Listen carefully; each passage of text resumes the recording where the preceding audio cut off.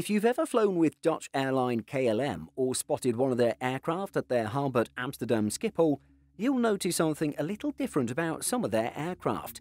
Some of their fleet's livery have the words KLM Asia painted across the side. But why is this? Founded in 1995, KLM Asia was established to allow the Dutch airline to fly to Taiwan. KLM Asia was set up as a subsidiary of KLM Royal Dutch Airlines.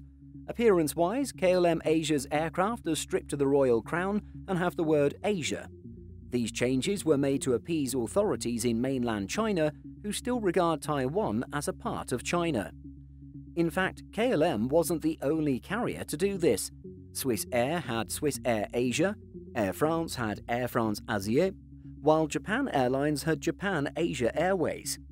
To fully understand why airlines did this, it's necessary to learn about Taiwan's history and how it came into existence. Taiwan came to be as a result of the Chinese Civil War in the 1930s.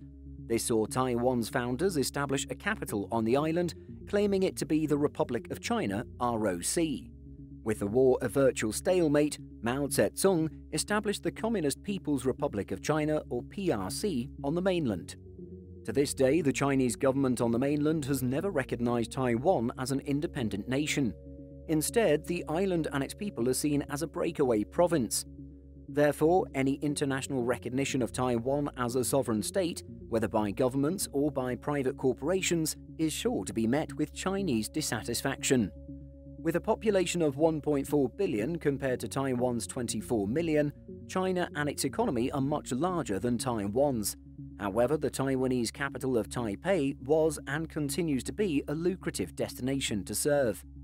This was an awkward situation when China announced that any airline flying to Taiwan would not be allowed to fly to mainland China. And this is how KLM Asia and other quote unquote Asian subsidiaries came to be.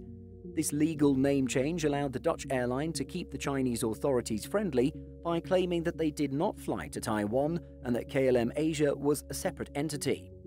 Now legally registered in Taiwan as KLM Asia, the Dutch national flag carrier could fly between Amsterdam Airport Schiphol, or AMS, and Taiwan Taoyuan International Airport, or TPE.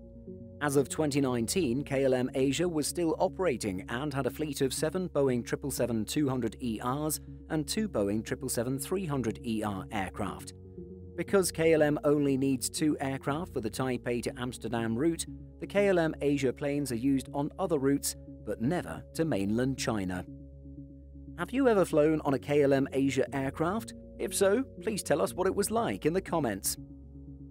Did you know that we publish over 175 stories every single week on simpleflying.com? Be sure to check the link in the description for more great stories just like this.